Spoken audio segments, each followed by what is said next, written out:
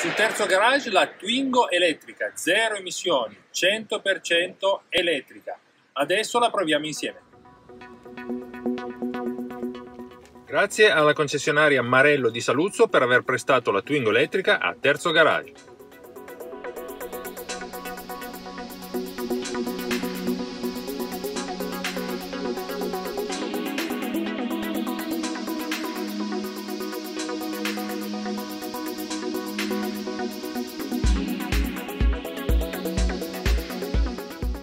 Siamo dentro la Twingo ZE, zero emissioni, Twingo elettrica. 93% di batteria, giriamo la chiave, si accende il quadro, posizione P di parcheggio, ancora un colpetto con un avviso acustico, l'auto ci dice ready, quindi pronta. Io tolgo solo la ventola perché tanto oggi è una giornata insomma assolutamente non calda e neanche fredda, quindi va bene. A questo punto marcia in D, togliamo il freno a mano e possiamo partire.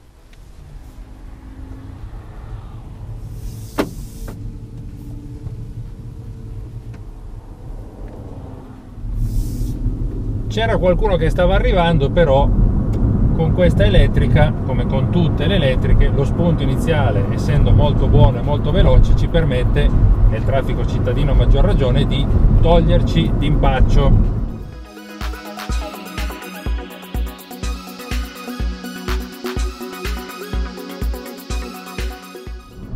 Twingo elettrica è eh, un'auto piuttosto piccola, un'auto da città, eh, 3,61 m di lunghezza. Io, mh, mm, come dire, eh, amo le auto piccole quando sono, ehm, come dire, organizzate, studiate bene anche per lo spazio interno e questo è il caso.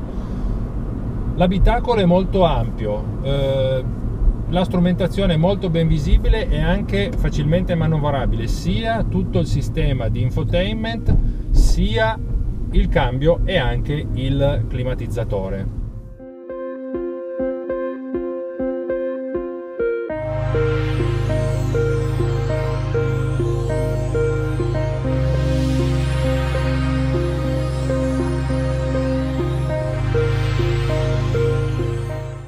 Ecco, questo è il cruscotto delle informazioni della eh, Twingo elettrica.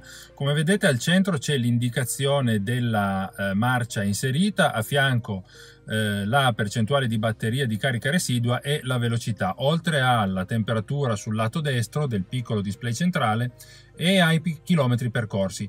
Tutto intorno abbiamo con una lancetta eh, analogica il tachimetro, cioè quello che segna la velocità.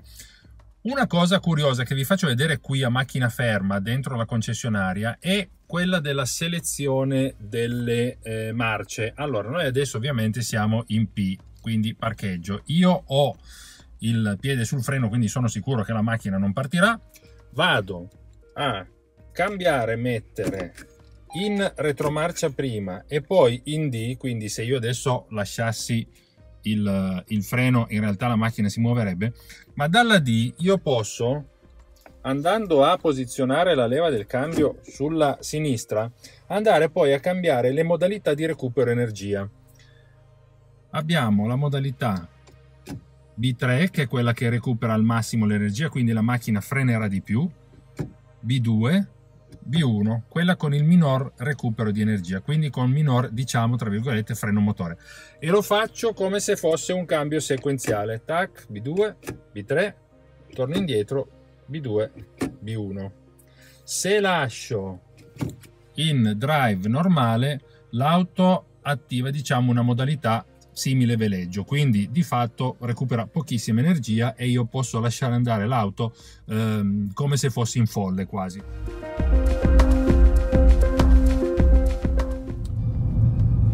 Vedete se io rilascio l'auto frena e io ho l'indicazione sulla sinistra del recupero di energia. Adesso vado, sto accelerando quindi l'auto non recupera energia, adesso di nuovo recupera senza che io freni. Se vado a frenare il recupero di energia è maggiore ed è quello che permette di allungare, diciamo, adesso c'è il volante davanti, di allungare la ehm, durata, l'autonomia, scusate. 3,61 m di lunghezza, 1,56 m di altezza, 1,64 m di larghezza. La Twingo completamente elettrica è una city car adatta per il traffico urbano. Le maniglie delle porte posteriori sono annegate nella carrozzeria e i vetri, i finestrini posteriori si aprono a compasso. Il fatto di avere un'auto così compatta ovviamente ci facilita in quei percorsi come questo nei centri storici in cui lo spazio è poco e anche se dovessi cercare parcheggio sono abbastanza sicuro di poterlo trovare in spazi piuttosto ristretti.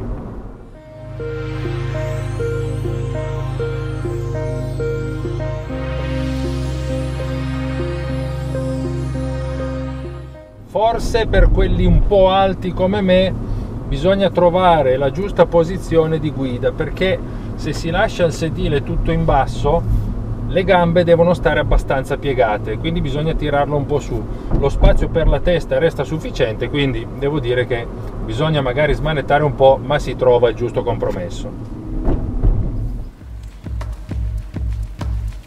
Ecco il bocchettone per alimentare l'auto. Qui c'è una linguetta bisogna spostarla e qui abbiamo la presa per una batteria da 22 kWh che può anche assorbire corrente in corrente alternata fino a 22 kW.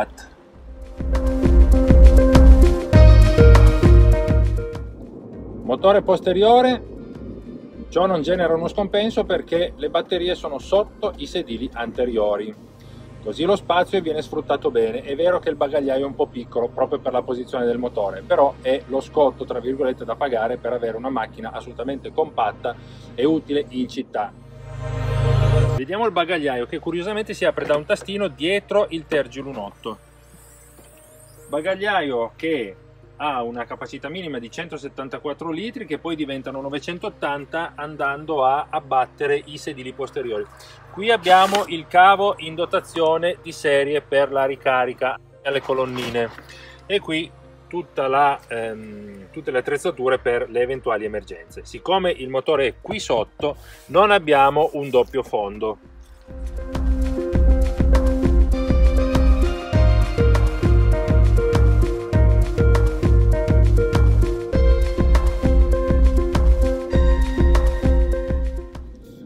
manovrabilissima, lo sterzo mi sembra tarato bene, diretto, riesce a dare direzionalità bene, io per carità non ho fatto finora curve impegnative, però mi ha dato subito un buon feeling. E anche gli interni sono frizzanti, sono piacevoli, è ovvio qui abbiamo anche eh, la... Um, l'allestimento di punta, il Vibes, quello che corrisponde nei nuovi allestimenti all'Urban Night. Però devo dire che è piacevole entrare in questa macchina, anche le decorazioni, le cuciture, i sedili sono oltre che comodi anche belli da vedere.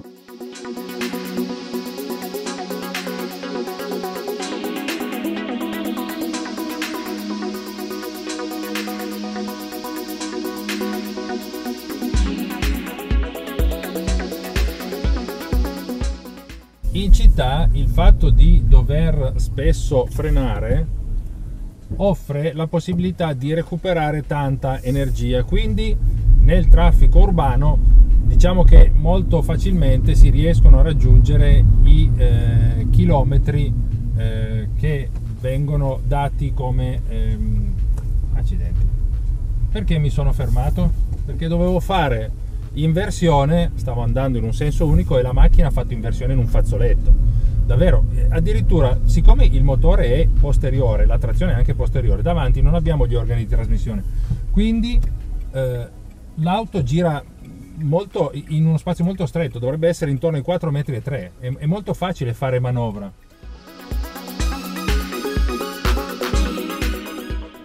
Qui abbiamo un tratto in salita io sto spingendo la macchina va su che è una bellezza anzi mi devo trattenere perché se prendo troppa confidenza rischio di fare magari qualche disastro.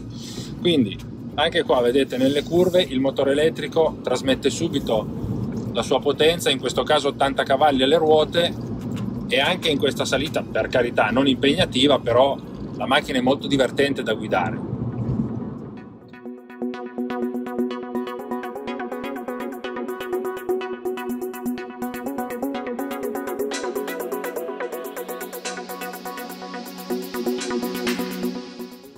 Nella guida cittadina le modalità B1, soprattutto B2 e soprattutto ancora B3 consentono di ehm, guidare quasi senza toccare il freno o comunque davvero toccandolo il minimo indispensabile perché l'auto, l'abbiamo detto, frena da sola. Ma quando si ha bisogno di tanta potenza frenante io adesso guardo negli specchietti l'azione combinata del freno e del freno pedale, ganasce e del motore davvero ferma la macchina in pochissimo spazio perché di fatto l'azione frenante è garantita da due organi che sono il motore elettrico e il freno vero e proprio.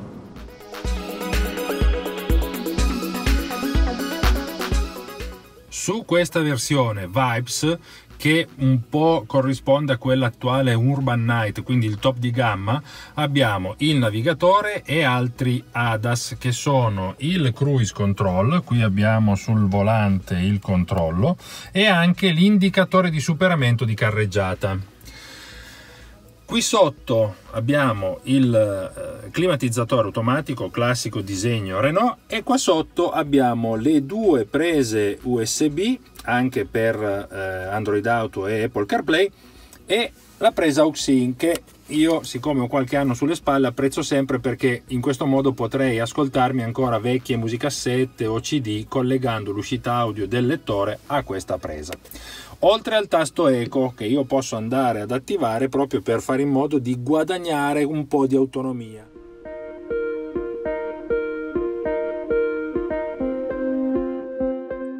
Una funzionalità utile del navigatore di questa Twingo elettrica è quella raggiungibile premendo i tre puntini e poi selezionando area raggiungibile. In pratica ci fa vedere fin dove noi possiamo arrivare con l'autonomia residua. La parte diciamo in blu è quella con, procedendo in modalità standard. In eco addirittura potremo ampliare un po' il nostro raggio d'azione. Qui noi abbiamo invece le colonnine più vicine. Possiamo andare a vedere dove siano e poi l'auto ci ehm, calcolerà il, il percorso.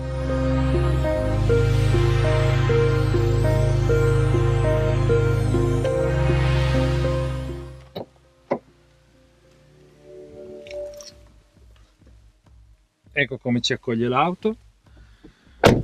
Praticamente è già sera. Io spero di riuscire nelle immagini a farvi vedere come eh, la macchina diciamo si presenta alla guida di sera.